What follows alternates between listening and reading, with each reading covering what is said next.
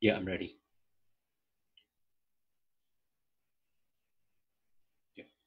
Good afternoon, everyone. Thank you for joining us on this live stream. Uh, my name is Chris Ioki. I'm the Public Programs Director for the Japanese American Museum of San Jose. So I hope everyone's doing well, staying healthy during this uh, these weird times that we're having.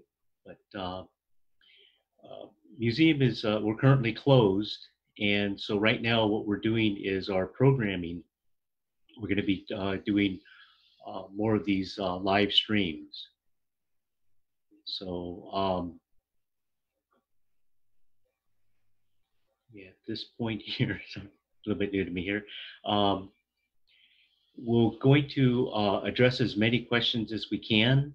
So uh, during our Q&A, so uh, if you have any questions, if you could just please input them into the uh, Facebook chat.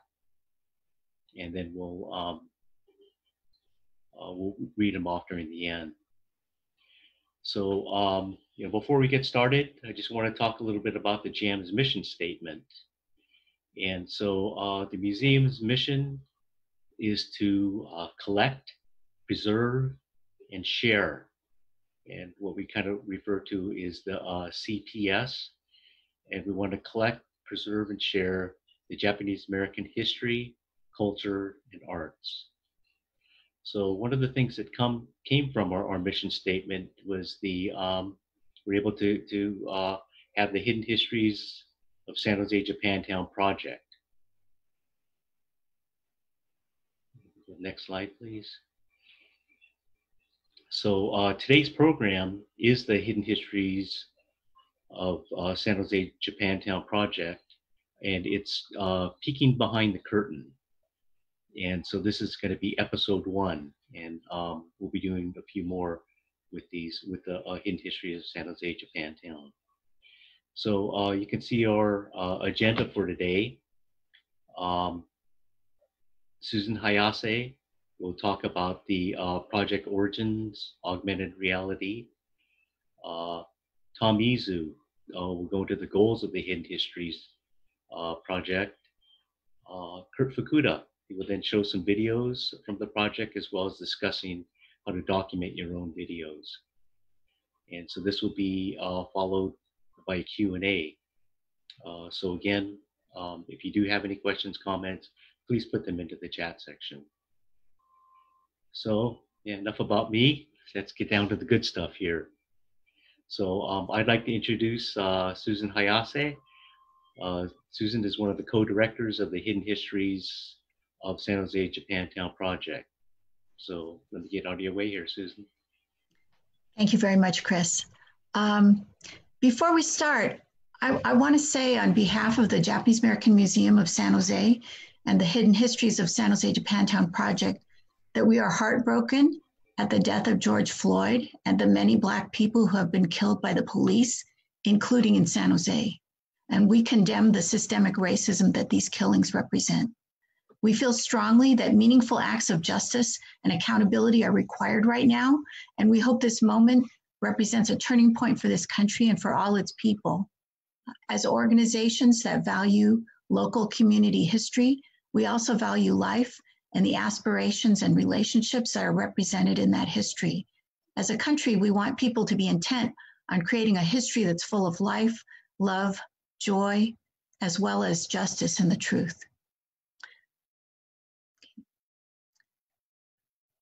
Now I want to talk about um, Tamiko who provided a lot of the inspiration for the Hidden Histories Project. She's the driving artistic force behind our augmented reality project. Tamiko Thiel is an internationally recognized digital media artist who explores the interplay of place, space, the body, and cultural identity in works encompassing a supercomputer, objects, digital prints, videos, interactive 3D virtual worlds or VR, and augmented reality as both gallery installations and as art in public place. Her work has been exhibited internationally in venues such as the Museum of Modern Art, or MoMA, and the Whitney Museum of American Art in New York, the Istanbul Biennial, the International Center for Photography in New York, the Design Museum in the Pinakothek der Moderne Munich, the Institute of Contemporary Art in London and Boston, the ZKM in Karlsruhe, the Tokyo Metropolitan Museum of Photography, the Fondazione Querini Stampalia in Venice, and the Centre Pompidou in Paris. She has also lectured and taught internationally. I am so lucky to have met Tamiko when we were both students at Stanford and when we were both young women engineers at Hewlett Packard. So Tamiko has been doing augmented reality artwork and she's helped us bring that to San Jose. So what is augmented reality and what is AR? Um, the example that most people recognize is the smartphone game called Pokemon Go. That's an app that has people looking through their smartphone camera for cartoon creatures that exist only in the app in some location. But AR is not just for games. Augmented reality is a mobile app technology that overlays computer generated information, which is sounds, images, text, or a school of fish on the camera view of the real world around you. Using the Arpoise app, which was developed by Tamiko and Peter Graf, your smartphone can be transformed into an AR art scope that reveals hidden place-based AR artworks that can only be seen in a particular place. The artwork is related to the place. So here are some examples of some AR artworks that Tamiko has done. This one is called Evolution of Fish. Evolution of Fish is an augmented reality large projection that turns the surroundings outside on building facades or inside on gallery walls into an underwater reef filled with schools of fish. People can use their smartphone or iPad to guide the fish around the space, but the more they intervene in the virtual ecosystem, the more the fish start turning into plastic garbage. Originally created for the Digital Graffiti Festival in the Florida Gulf Coast, the installation includes large silvery amberjacks, game fish known for their love of debris, and the colorful reef fish that will become more common on the Florida Gulf Coast as they migrate northward due to warming waters.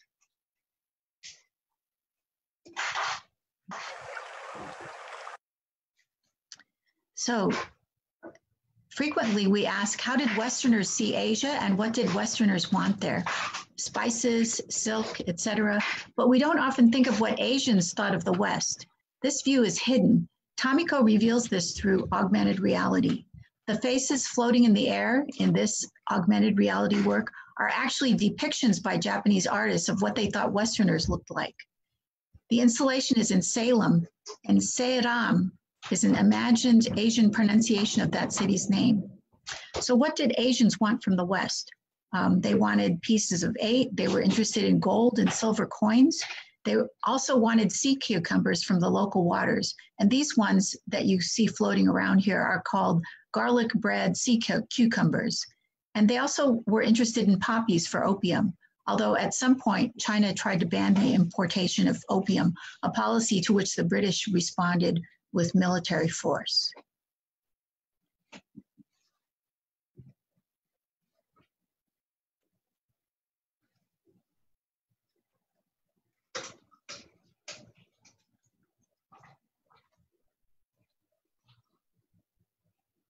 Next, um, Tom Izu is going to um, talk to you. He, he's the co-director of um, the Hidden Histories Project.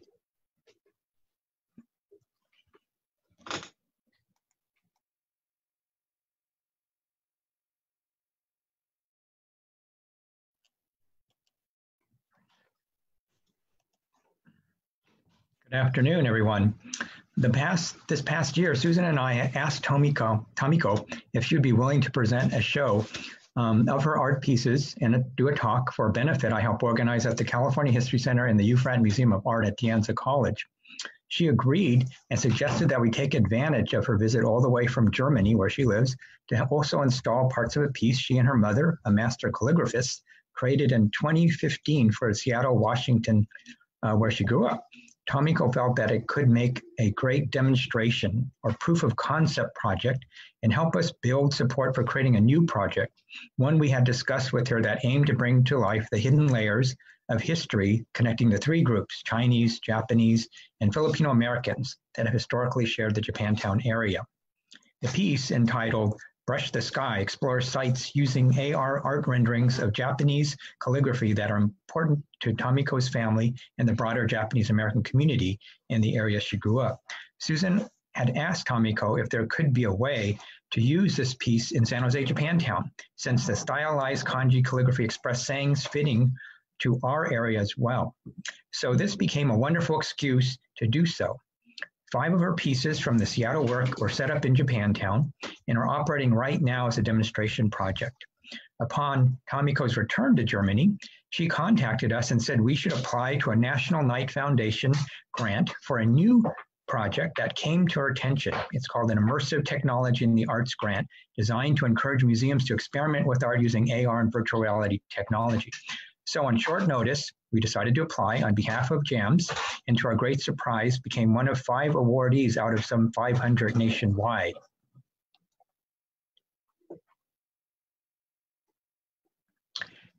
Our grant calls for the creation of nine new AR art pieces to be installed in the streets of Japantown that explore and interpret the hidden histories and the interrelationships between Chinese, Japanese, and Filipino American communities, groups that have shared this historic locale now known as San Jose Japantown. Funds are to be used to recruit a pool of local community-based artists to learn about these hidden histories, to be trained in AR technology, and out of the pool, finalists will be selected to complete the nine art pieces. Our aim is to complete the project by spring 2021 or sooner. Next, we have a video interview of one of our advisors, Tony Santa Ana, who is an educator and artist involved with the Santa Clara Valley chapter of the Filipino American National Historical Society. He explains more about the meaning of the project.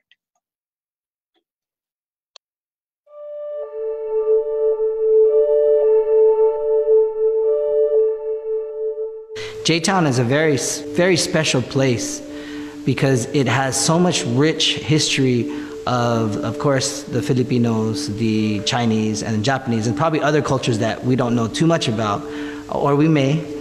It's also an emerging place for Silicon Valley where a lot of people are actually going there, moving there, and adding their own flavor to the place. So I got involved because Tom thought that I'd be a good person because I, I had the love for, for history um, for also for art and also solidarity amongst different groups because we are all in this together and we have to collaborate and have to work together in order to fight for justice and, and fight for the preservation for our communities. Well, this is a very avant garde, um, experimental project, and I'm glad that the Knight Foundation was able to fund this because of what it stands for and what it's going to do, and maybe even trendset for different areas of funding for different historical towns across the country. So with the Hidden Histories Project, I really want to thank Tom again uh, because for me, it's something that I really want to preserve because it has the intersection of art, is of preservation of culture, of solidarity amongst different groups. I think this is a very special project that a lot of people can learn from and appreciate. And I, I, I hope and I know it will, will add to the value of what J Town has offered this community.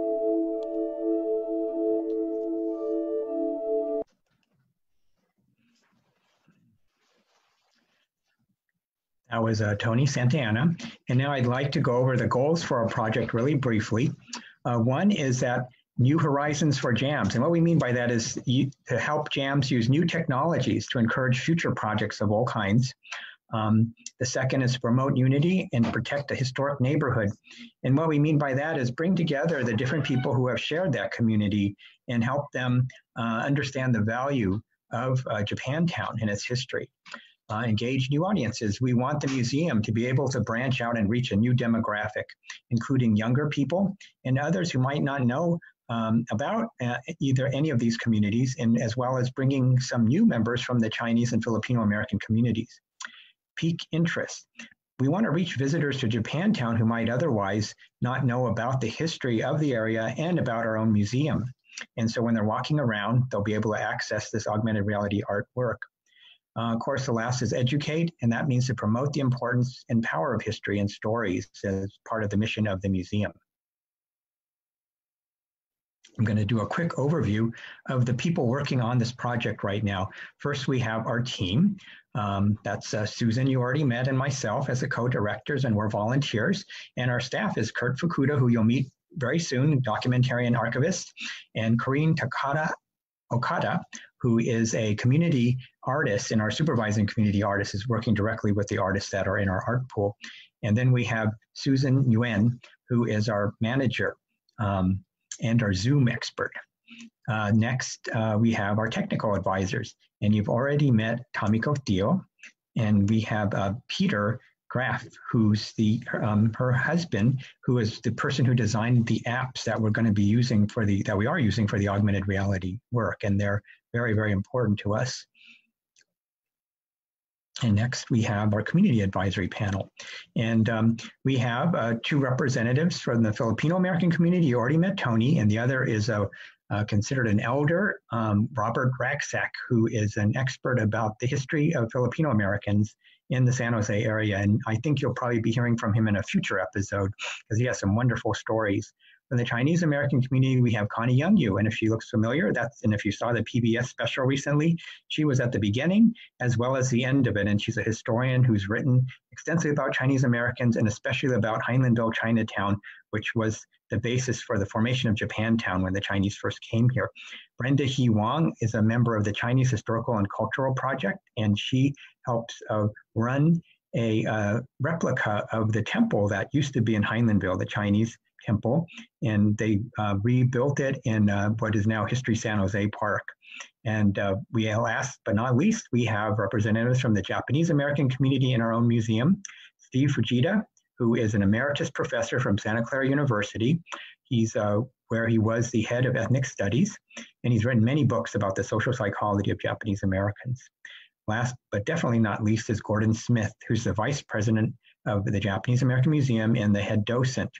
Now, all of these, um, all of these, uh, these people and their bios are available on our Hidden Histories website, which I think will be posted in the chat if you want to take a look at it. And last, before I move on, on the website, we will also have we also have the um, list of artists. We have 17 of them, uh, and their own bios, and you might find that interesting to take a look at.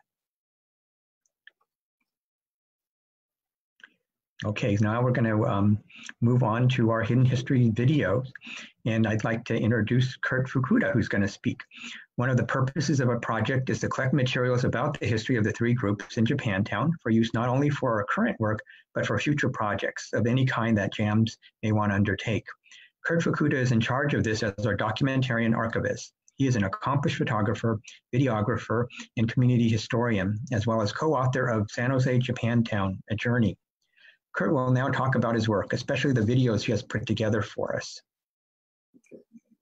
Well, thank you, Tom and Susan, and I want to thank JAMS for giving me the opportunity to participate on this uh, very exciting project.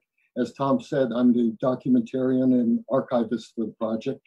Um, as you might guess, recently my a lot of my duties are doing screen captures of a lot of Zoom meetings. But uh, in addition, there was a need to uh, publicize the project, and one idea was to create informative videos. And the initial videos we produced were uh, about details about the project. Uh, the videos include uh, Tom and Susan explaining about AR and about the goals of Hidden Histories. You saw a, an excerpt of Tony Santana talking about uh, the project also. And out of these videos, a uh, different set of videos grew out of it. We decided that to produce some videos that contain anecdotes and stories about San Jose Japantown. And these would get people like really excited about, uh, about the neighborhood and about the project. You know, stories really help us make sense of the world and they create an understanding and a, a commonality be- between people you know, stories can be very didactic or or direct, you know, telling you information, or they could be very poetic and touches on a very subconscious or emotional level.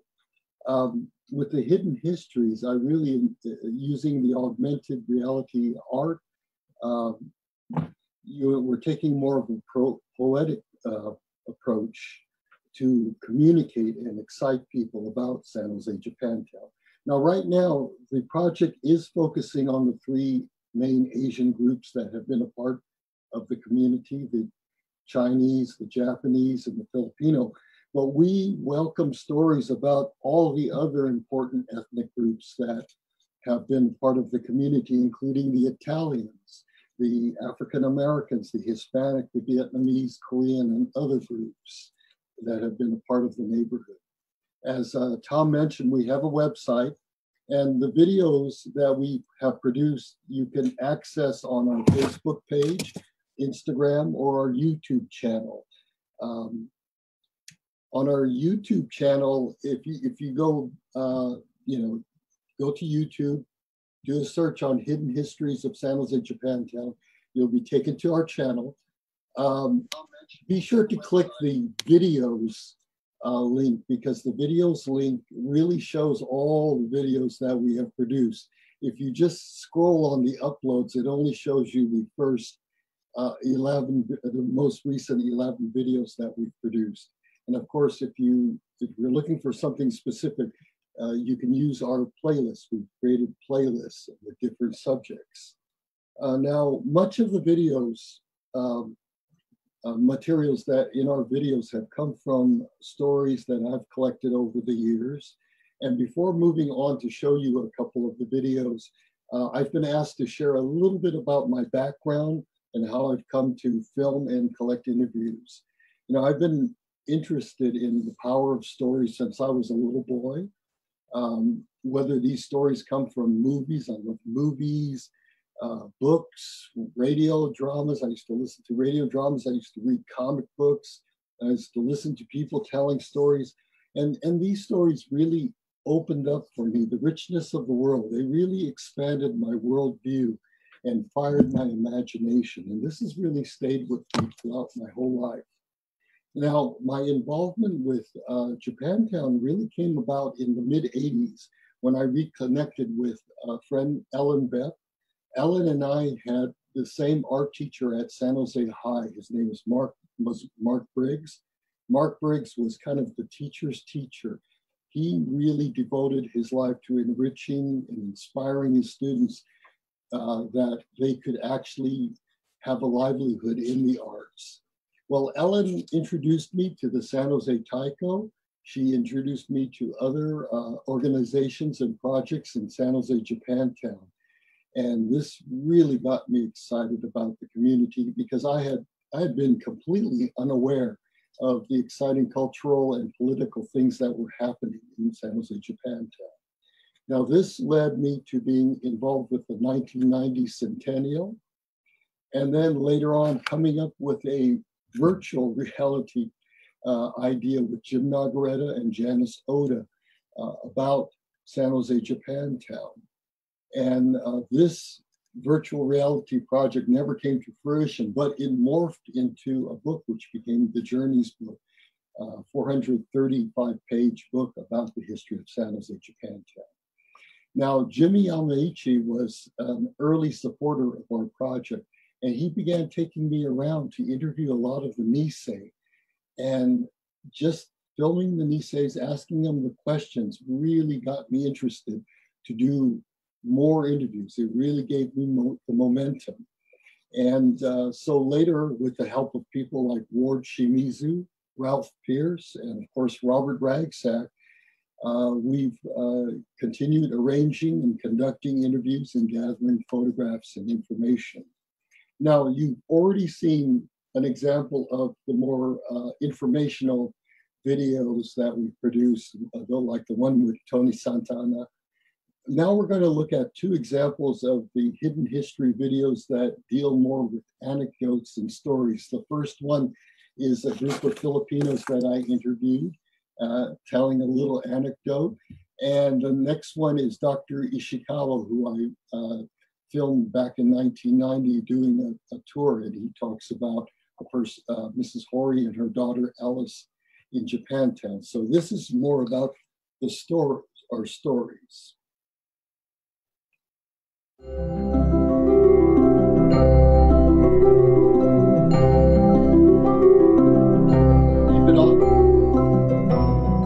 Yes. Uh, what's his name? Clark Takeda? Yeah, Clark Yeah, he was the coach for the ze- the zebras. yes, yes, he Yeah, was. he, he really built that team up. He was pretty good. yeah.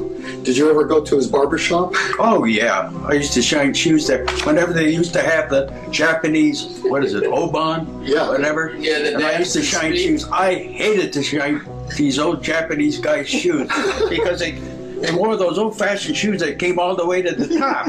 Okay, instead of just shining the shoe, it's up. They say no, no, no, all the way up to the top for a lousy nickel, man. oh, signs were hard.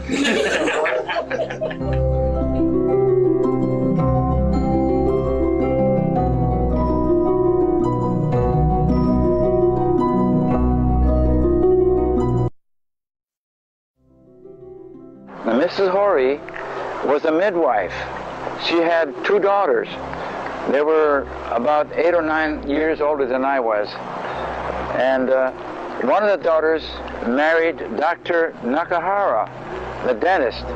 And when he came to San Jose, he opened his office in the front part of this building while his mother-in-law continued becoming being a midwife in the back.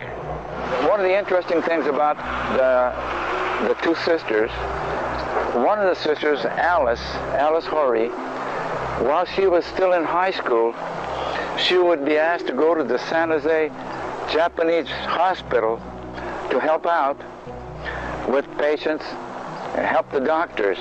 And not only that, when her mother went on home calls, home deliveries, going as far as Palo Alto and San Mateo, Alice had to do the driving because Mrs. Hori didn't know how to drive. So as a high school student, she had all these chores to do, driving her mother, going to the Jose hospital, I mean Japanese hospital, occasionally going to O'Connor Hospital where the patients, Japanese patients, asked her to stay as an interpreter so that they could get directions from the nurses. Sometimes she slept overnight on the floor.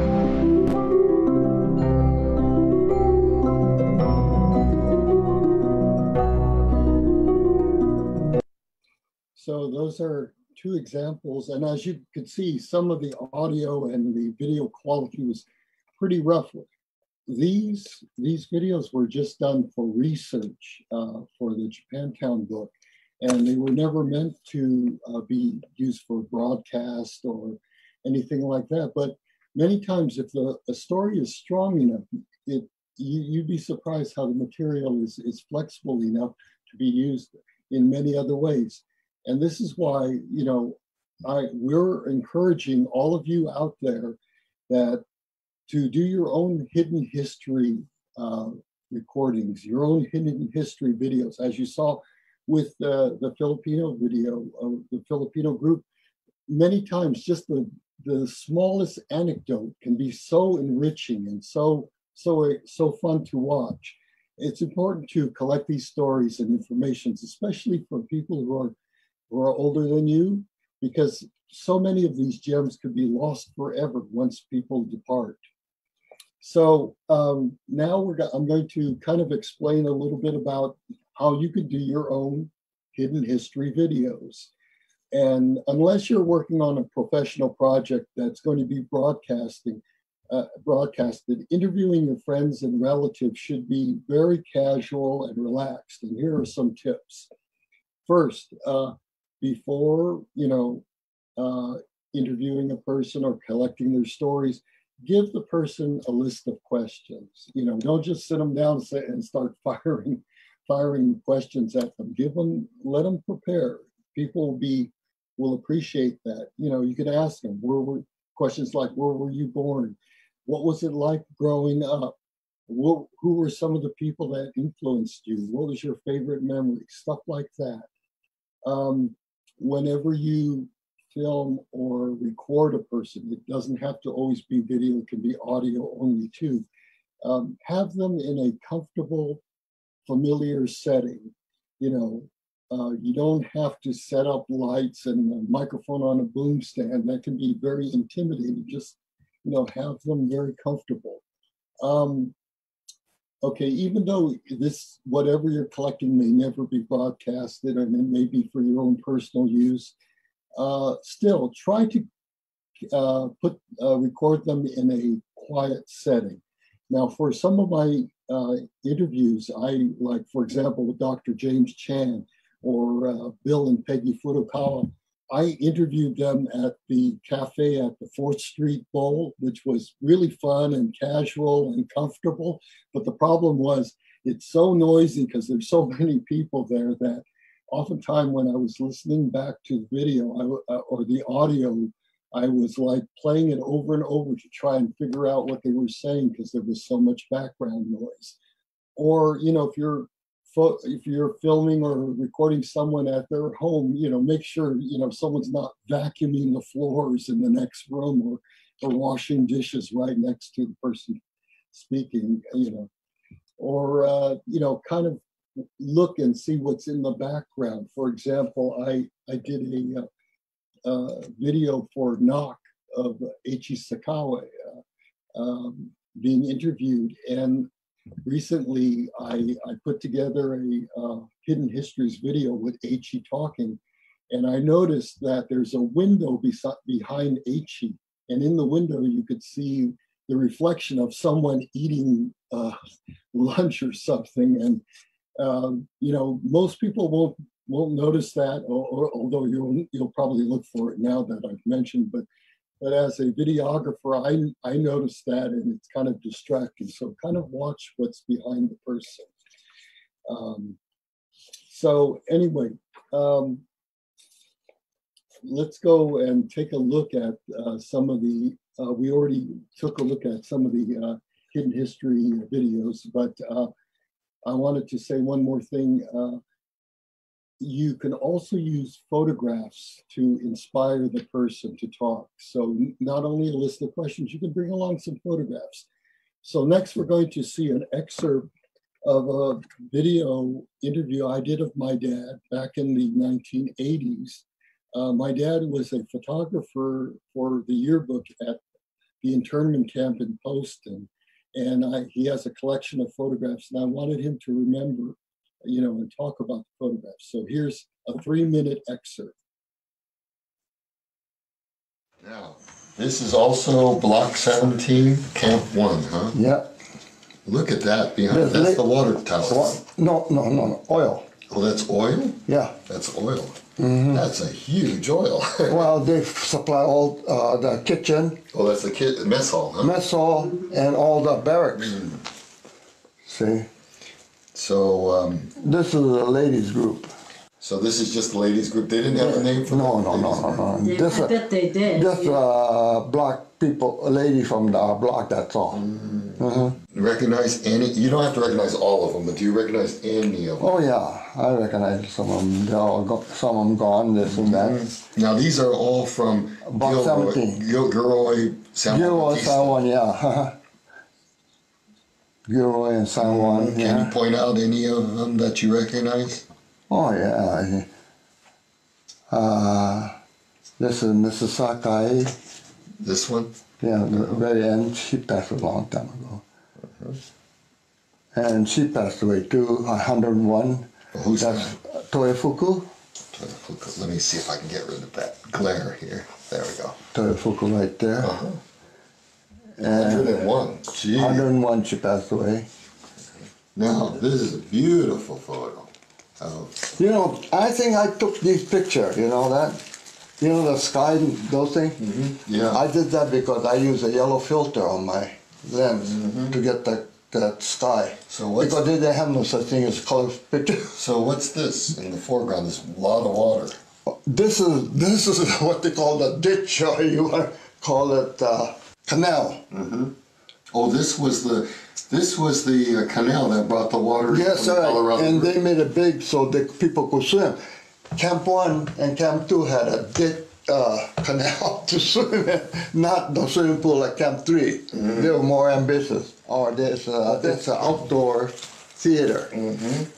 And That's in Camp One again. Camp one, and I took. I'm sure I took these pictures, but Uh, it's been so long that I can't Oh, remember. Well, you, I find, you have, I have the negatives here for those photos, so you probably. You- I must have taken- You must have taken them. But We you, have the you know, negatives. you, I can't say I don't want to take say oh I did this I did that because I can't say that Yeah. I forgot.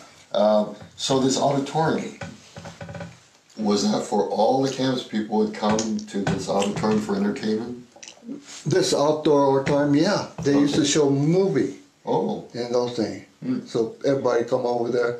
It's nighttime. If it's cold night, everybody used to bring a little, little like a bucket, and they put charcoal in there, burn it right by yourself to keep warm oh, okay. in the, in the wintertime. And that's where they had the shibai and everything. What's she like? Shibai is uh, like a stage show. So that's, uh, that shows you that you can use photographs to, uh, you know, uh, inspire people to talk about uh, story.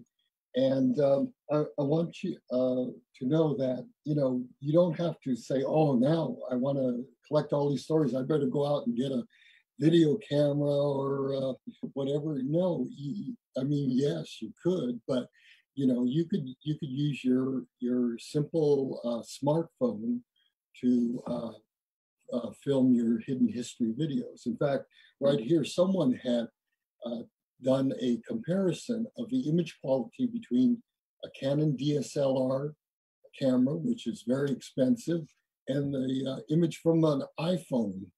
So as you can see, they're not really that much different. So you can use your phone, whether it's Android or whatever, uh, to uh, film your hidden histories. You don't have to go out and buy a $5,000 camera. Uh, if, if you are going to buy anything, I, I would recommend uh, for your smartphone buying a tripod. And there's tripods you can go to Office Depot or any place like that, and they have tripods. They don't have to be fancy. I got mine for like $19 from from Office Depot. It doesn't, it's not as fancy as the one in this picture, but it does it does the job because you don't want to just try to prop up your phone with using books or whatever, because inevitably it'll fall over. Um, when you're when you're recording or filming a person, try not to be too far away from the person because you know you're probably using the built-in microphone and you know you don't want too much of an echo or the, the sound to be too soft. However, if you you know if you feel like it, there are a lot of microphone attachments you can get for your uh, uh, smartphone and uh, to in, increase the uh, the quality of the audio. Now, I'm going to mention three mistakes that uh, a lot of people do when they when they film, and I, I mention these only so that when when you do record your hidden histories, uh, the quality is a little bit better. First of all, don't don't put the person in front of a bright light source. I've seen so many videos where they film a person and the window is right behind the person and, or a, a light is right behind the person and what happens is as you see in this picture the camera the camera gets full it doesn't know what what the exposure should be and inevitably it darkens everything to try and compensate for the light and the person ends up looking like a silhouette so another thing is you know when you have a bright light in in the picture or the uh, frame of the video, you're going to get flare, and that's you know that's going to ca- cause a lot of distractions. So you don't want light behind the person or anywhere within the frame. Uh, the third, my third tip is okay, you don't have a light in the frame or uh, nearby to cause flare, and yet your image looks looks still looks bad. What's wrong? Well, usually it's because your lens is dirty. Uh, I've seen so many people as they're handling their phones, their thumb or finger is over the lens and leaves a fingerprint. And then when you go to take your picture, you're wondering, gee, why does it look so bad? Well, usually it's it's uh, because your lens is dirty.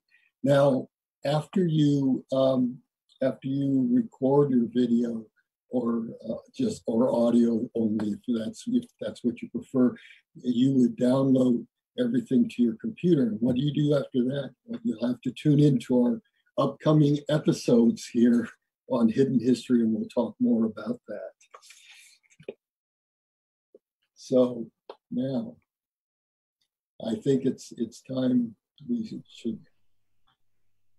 Yeah, thank you, Curt. I've been guilty of the dirty lens many, many times myself. So, okay, so we'll um, start our Q and A process here. I do have access to the uh, chat. I'm not seeing any questions. And Susan, I'm actually looking at the Facebook. I'm not doing Netflix. So, uh, but um, yeah, if anybody has any questions out there they'd like to ask, let's see. So, Chris, Chris, I could, uh, if I could say something. oh, Um, for for our project, Hidden Histories project, we really wanted to do more engagement with the community and public in real real world, not virtual. That was kind of the idea. And because of COVID nineteen, of course, and shelter in place, that really threw a big monkey wrench into all of it. And so one of the uh, things we're trying to do with a program like this that I really appreciate the museum helping us do is to try to make some connections with the community and have people think about doing their own history and other projects like that. And then as we p- progress with our augmented reality art pieces, they actually see those pieces and become inspired. And some people might even want to take on that as a uh, as a project. Um, so we really want to encourage people through these kind of programming, even though we're in shelter in place still or modified shelter in place soon. And so we're going to have a couple of more episodes uh, with Curt's help, focusing on more specific things like Heinlenville, Chinatown, or Pinoy Town. We're still trying to cook things up, but it's to try to engage uh, the public too. So it's not just a separate project with artists, if that makes sense to people. Thank you, Tom. Also, you know, um, uh, one of the things that would be really great is for people to, uh, you know, find out like, you know, to, and tell us, you know, were you born in Japantown or were your parents or your relatives born in Japantown? You know, do you have family ties to the Heinlenville Chinatown or family ties to the Sixth Street uh, Pinoy Town? Uh, anything that you have is probably really interesting to us. Sometimes people, uh, you know, don't think that their story is really important, but um, they're of historical and human interest. And so please contact us. Okay, so we did get a, a, a question come in, and it's from our friend Ralph Pierce. Thank you so much, Ralph. Um, and Ralph asks us, uh, uh, what our favorite hidden histories, what our favorite hidden histories are, and why. And so, uh, Curt, did you? Oh, my, my favorite hidden histories are the anecdotes and stories from people uh, because uh, they just touch my heart or they'll make me laugh. you know, they're just they're just what I'm just always amazed when people come out and become they're just natural story. People are natural storytellers, whether they realize it or not. And when person a person is remembering something, there's something that kicks in and they just come alive. For me, one of the um, my favorite hidden histories is just the the fact that you know when I moved to San Jose, Japantown area, um, I thought that it was just it's always been Japantown, and I found out that it used to be called Chinatown, and so that's when I learned about the Heinlenville Chinatown. But um, meeting Robert Ragsac, who was an elder in the Filipino community and who actually grew up in Japantown, um, hearing him talk about the Sixth Street Pinoy Town is an amazing uh, hidden history. I, I bet you uh, most of the people that you know eat in Japantown regularly have never heard of that, and um, that's one of the things we want to really elevate. Oh, also, I think one of the things that I really like are the little stories that um, show the interactions between Japanese Americans and Filipino Americans, or between uh, Japanese Americans and Chinese Americans. Um, I think those stories are really moving to us. um, and um, they're they're really heartwarming. And Mhm. Yeah, so I really like those. Yeah, I, I, I agree with that. And because when we first started this project, we were thinking they'll be pretty separate. There'll be somebody talking about the Chinese and Chinese American history and Filipino American history and Japanese American history. But most of the advisors that, that you saw in our project that uh, we get a lot of uh, inspiration from, a lot of the stories that come to their mind are exactly what Susan is saying, is the interactions between the two different communities. And, and they're very, very moving, I think. And, and I think right now, especially, uh, it helps you feel much more hope and much more connection and much more understanding what a community really means. And um, to me, that's been very inspiring. And um, I think uh, through our series here, with Curt's help, I think we could probably share some of those stories. We actually have some interviews where they talk about it, and they're they're they're really neat. I, mean, and as uh, we we share more of these stories, I think people will realize how Sixth Street is kind of like the intersection, the confluence of of all the cultures, because you had Chinese restaurants there, you had Filipino businesses, you had uh, Japanese boarding houses there, and um, you know, of course, now Sixth Street is changing drastically with the seven-story development going in. But uh, it's it's uh, it's a very for me it's a very exciting part of Japantown that it's been really really uh, fun to learn more about. Okay, uh, we did have another question. It was from uh, Monica, and she asks uh, how the artists are learning to do the augmented reality. Okay, um, well, that's that's a great question. So, um, I think augmented reality, as uh, people talk about it in Silicon Valley, uh, sometimes is viewed just as something that people buy. You know, you buy a product or a game that has it um, already implemented for you. But I think the way that Tamiko looks at it is that you know it's a it's a it's a something that could uh, give people a creative outlet and creative expression. And that's the way we're looking at it in our project. So, um, the way we originally had envisioned it, we were going to bring Tamiko out.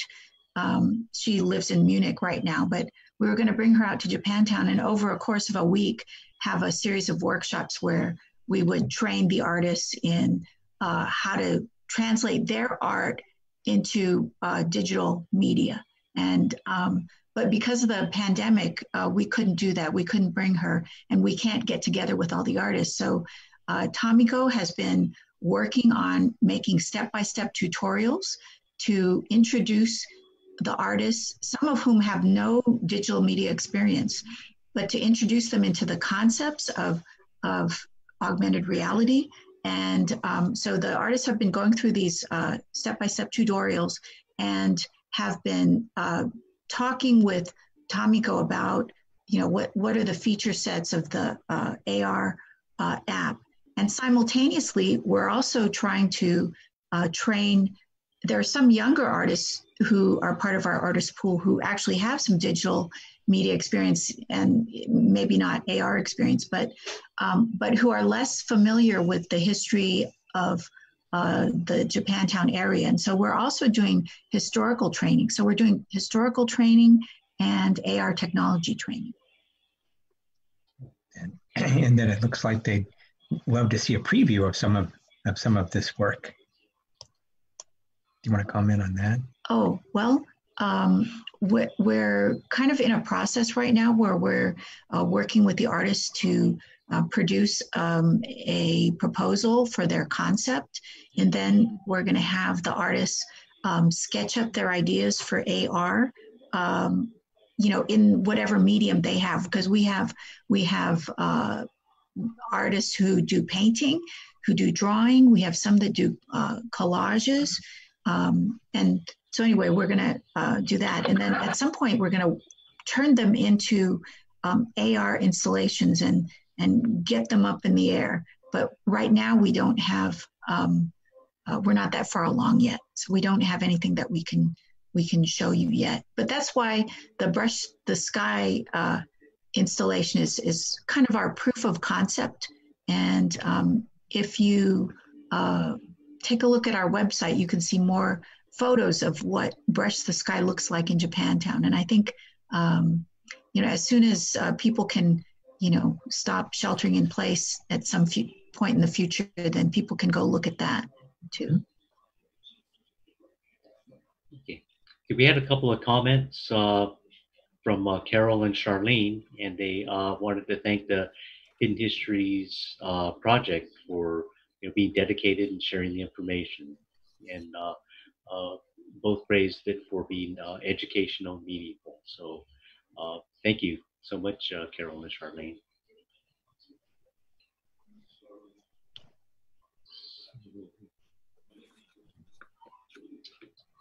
Yeah, I think we're probably ready to uh, wind down here. Well, well Yeah, maybe so- one, I'm sorry, Chris, but if, Curt, if you, did you want to mention ideas for future episodes? Really Oh, yeah. brief? Yes, coming coming up, uh, we have uh, uh, we'll have an episode on Heinlenville with uh, Brenda and Connie, and they're very excited.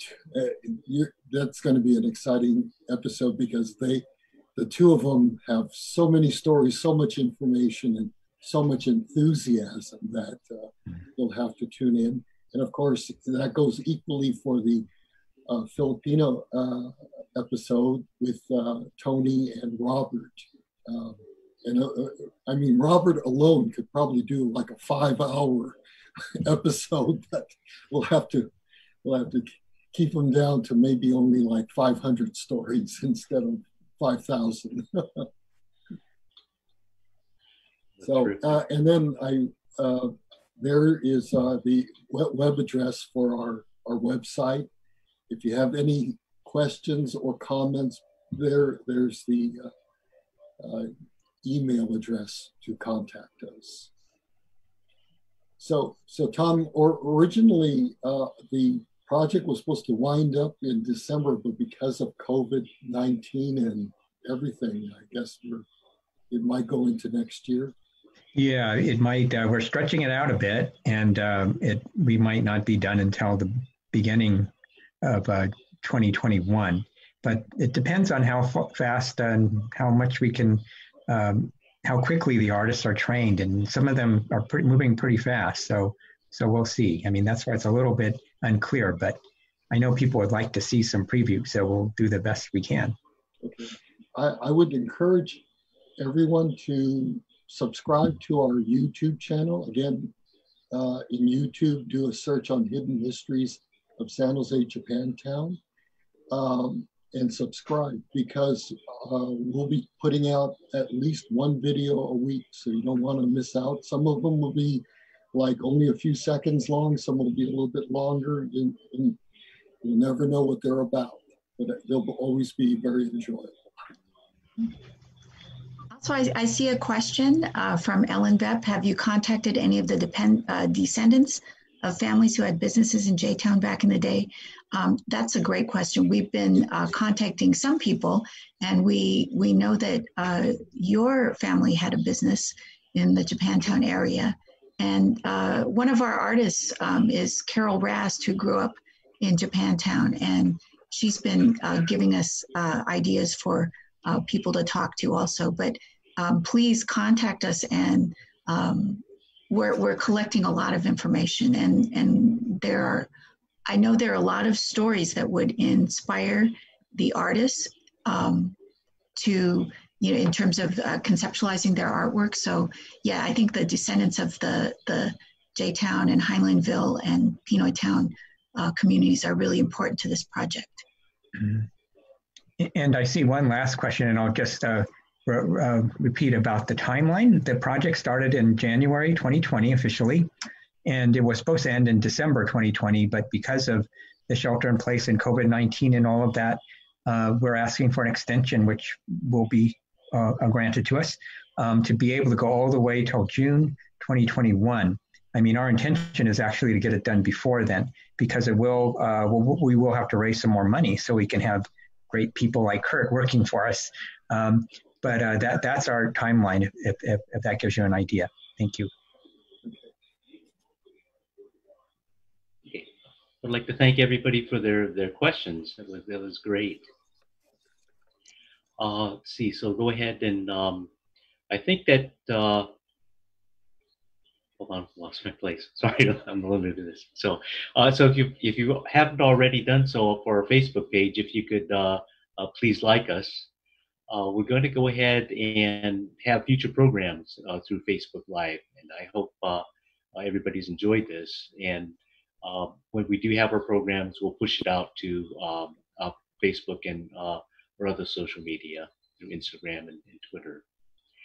Uh, the JAMS website, um, I think many of you have been there, but it's uh, jamsj.org. There's a lot of information there. Um, so supporting uh, JAMS is a nonprofit museum, and so we do need support. And so at the uh, in the upper right of the uh, of the JAMS webpage is there's a support button, and then if you click on that, um, it'll bring up this image here. Next page, if we could go to the next, please. So it brings up that uh, the box, and from there you can go ahead and you can donate. Uh, JAMS relies a lot on donations to, to just keep us going. So um, again, if you'd like to help us keep this message, uh, continue to, to, to work on it, is um, please consider donation to the museum. Um, also, uh, from this page, uh, you, you can go ahead, uh, uh, become a member, and for those of you who are members currently, thank you so much. We appreciate it. Uh, if you're not a member of JAMS, uh, you know, please consider becoming one. And we can also do some volunteer from that uh, donate or from that, that page. And what we're looking at here right now, um, this is also on the sport page, but it's uh, an entry for the Amazon Smile. so for those of you who are not familiar with Smile, is a half percent of your uh, the entire uh, cost of your qualified purchases, and that goes to your organization of choice. And um, if you could, if you go to Amazon Smile, um, and if you select the Japanese American Museum of San Jose, uh, we would really appreciate it because this really helps uh, uh, fund our, our organization. So uh, thank you so much, uh, all of you for who joined up, for taking the time, participate and participate in our program. Uh, I I want to thank Curt, Susan, and Tom for your presentations. Uh, but also like to acknowledge the uh, hidden history of San Jose Japantown team and artists uh, for all your hard work and dedication. This is a, just an outstanding uh, project that's going on right now. Uh, so uh, behind the scenes, and again, this is something that's a little bit new. Uh, in the past we've just done a lot of the uh, uh, programming at Jams and unable to do this, and so uh, do it at this point. So through these video streams, these live streams, um, we've had a lot of people helping us out, and um, Sydney Casson, um, she's monitoring the Facebook. She's uh, helped uh, produce the program. Uh, Sydney joined us at the last minute, and so uh, thank you so much. It was really a big help. Uh, Momo Cha is our uh, website. she works on the website. I call her the website mistress. I don't know if that's a good thing, but she just she helps out so much and, and pretty much runs it for, for jams. And she spent hours and hours uh, getting the, the website uh, prepared for this uh, for our live streaming. And so Momo, uh, we appreciate you. And um, also for Michael Sarah for producing. Thank you, Michael. Uh, it was really big. So uh, we really couldn't have done this without you. So uh, live streaming, as I said, something a little bit new to Jams. Um, we're tweaking on it and working on it. Um, we hope to have many, many more in the future. And uh, if, you know, when we do, we hope that you'll join us. So uh, thank you so much for, for everybody for uh, doing this, our live stream here. Uh, be safe, and we hope to see you sometime soon. Okay, thanks.